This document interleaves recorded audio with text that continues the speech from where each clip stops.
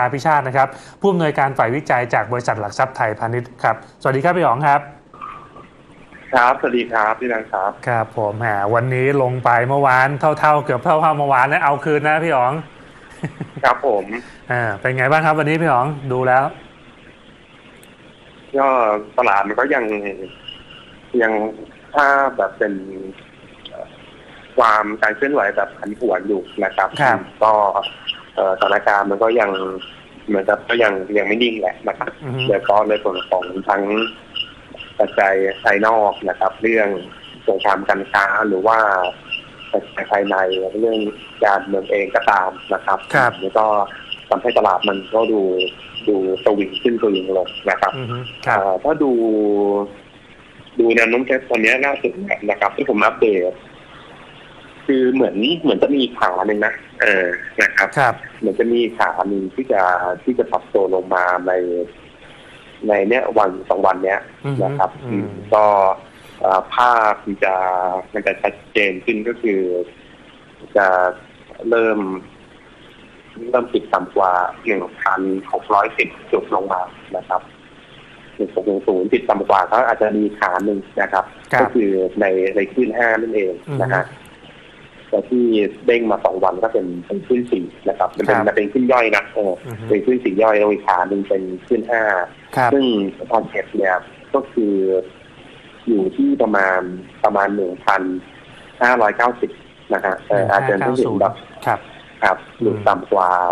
หนึ่งพันหกร้อยจุดบ้างนะครับอืมเพราะว่าเอ่อมันจะเป็นน่าจะเป็นมีโอกาสเป็นวัตทอมเหมือนกันเอางี้แล้วกันนะฮะเอ่อครับถ้าถ้าดูก็ เพราะฉะนั้นถ้าเห็นก็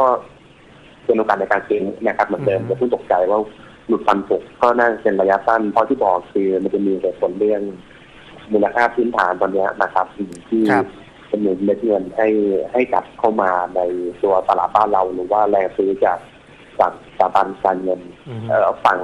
นักวิสถาบันในประเทศนะครับ แล้วก็ก็เป็น ก็เป็นทางไซเคิลวงจรเวลาไอ้รอบเนี้ย มันจะ มีโอกาสเปลี่ยนแนวโน้มก็คือวันศุกร์นี้นะครับอืมวันศุกร์นี้ก็พรุ่งนี้แล้วก็สัปดาห์หน้าก็มีโอกาสอาจจะเป็นภาพฟื้นตัวหรือว่าก็เห็นลงไปประมาณถึงห้าเก้าศูนย์ตอนนั้นเออมันมีโอกาสจะฟื้นตัวกลับขึ้นมาครับนะฮะแล้วเอ่อถ้ามองไปข้างหน้าตลาดในเดือนมิถุนายนก็มีโอกาสจะจะฟื้นตัว เพราะตามสถิติเนี่ย คืออโอเคมันเกิด Sell in May นะครับครับในย้อนไปสิบปีหลังเนี่ยเกิดอืมถึงประมาณเจ็ดครั้งแล้วพ อหลังจากเกิด Sell in May เดือนมิถุนามันจะฟื้นได้นะครับเอออืมสำหรับตัวตัวภาวะตลาดอืมเพราะฉะนั้นก็เป็นโอกาสในในการซื้อนะครับ แล้วดูอืมที่ทางคอนโทรก็ ก็ถือว่าดีนะเออครับ ก็คือซื้อในเซ็ตแล้วก็ในในตลาดฟิวเจอร์เนี่ย ตอนนี้เหมือนเหมือนล้าง position short ไปไปเกือบหมดแล้วนะก็ผม จะเก็บข้อมูลมาของยอดตั้งแต่เดือนเมษายนนะหรือว่าไอ้ตัว CVM เนี่ยนะครับครับอเขาเริ่มไปที่ long พอ long เสร็จอืมปิด long เปิด shortตอนนี้ปิดช็อตละครับเออนะครับ คือฐานะคือฐานะมันมันกาแฟแล้วว่ามันเริ่มแบบเป็นซูมอีกครั้งละครัก็บติดตามว่าชาติข้างหน้าเขาจะเริ่มเป็นเป็นลองครั้งหรือเปล่ามันก็ถ้าเป็นลองเนี่ยก็ถือว่าภาพมันจะเป็นบวกต่อตัวทิศทางคอนโทรลในเซ็ตแล้วก็เรื่องไอตัว MPI เนี่ยก็ติดตามว่าจะมีเงินเงินเข้ามาหรือเปล่าเพราะมันอืมได้พิธีก็คือปลายวันที่เก้ามันจะไม่ผิดนะฮะก็คือสัปดาห์หน้าเหมือนกันนะฮะเออเพราะฉะนั้นก็มองคือระยะนี้อาจจะลงจุดต่ำพันหกแต่อย่าตกใจหรือว่าอย่าขายหุ้นลงมานะครับโดยเฉพาะอืมหุ้นพื้นฐานดีเป็นโอกาสในครับการซื้อหรือซ้ำหรือว่าใครไม่อยากซื้อ ก็เป็นถือเพราะมองเวลามัน น่าจะฟื้นตัวกลับได้ด้วยผลทั้งหมดที่บอกมาแหละอืมแตงโฟเริ่มดีมูลค่าตลาดไม่แพงแล้วการติดสิครับเดือนมิถุนาตลาดมันจะฟื้นได้แต่เดือนพฤษภาคมครับผมอืมแล้วก็ bottom น่าจะหนึ่งห้าเก้าศูนย์ครับหนึ่งห้าเก้าศูนย์ใช่ไหมที่พี่อ๋องบอกครับมีผมขาหนึ่งนะ